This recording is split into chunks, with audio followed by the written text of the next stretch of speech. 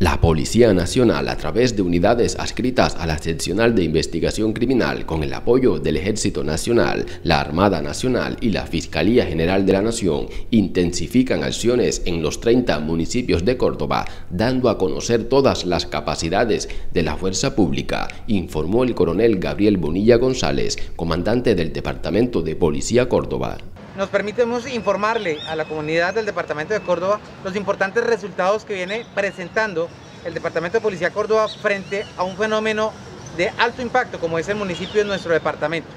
Especialmente en los últimos días donde hemos tenido ciertamente circunstancias que han requerido de un esfuerzo importante de las autoridades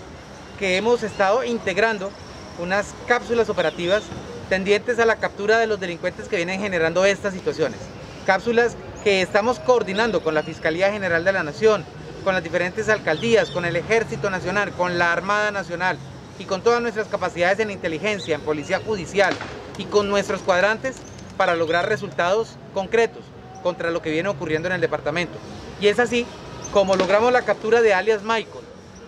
una persona que fue sorprendida con un arma de fuego y con elementos que permiten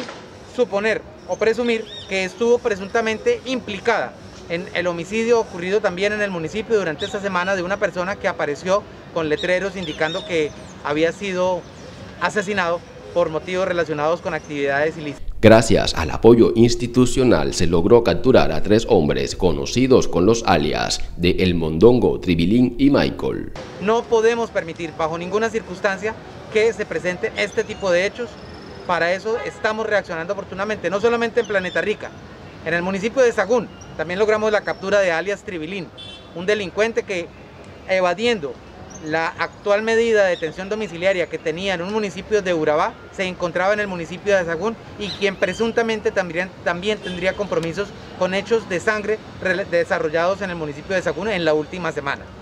De otra parte, en el municipio de Lorica logramos también la captura de alias Mondongo, otro delincuente adscrito aparentemente al grupo armado organizado Clan del Golfo, quien tendría implicación presuntamente sobre hechos de sangre ocurridos también en ese municipio. De esta manera estamos logrando resultados concretos contra el delito del homicidio y es así como llevamos más de 25 allanamientos en lo corrido este año. 20 armas de fuego han sido incautadas, que han sido sacadas de